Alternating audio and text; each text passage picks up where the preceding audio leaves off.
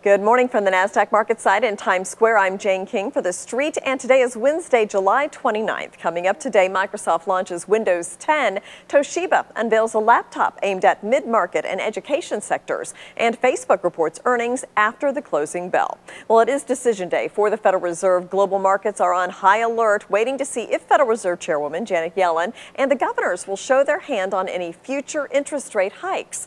A policy announcement is expected at 2 p.m. Eastern Time as the two-day meeting wraps up. And Anthem's results beat expectations. It also bumped up its full-year guidance for medical enrollment growth. Anthem is on the heels of a $48 billion buyout announcement of Cigna last week as the health insurance industry continues its consolidation.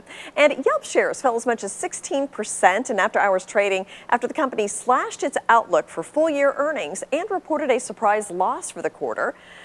Also, the company chairman and an early investor, Max Levchin, plans to step down to pursue other interests. Now, there was a bright spot. The company says they've seen growth in app usage accelerate by 51% year over year. Yelp shares are down 39% year to date and down 51% over the past 12 months. That is a wrap for us, but be sure to track breaking news and analysis all day at TheStreet.com, at the NASDAQ market site in Times Square. I'm Jane King for The Street. Have a great day.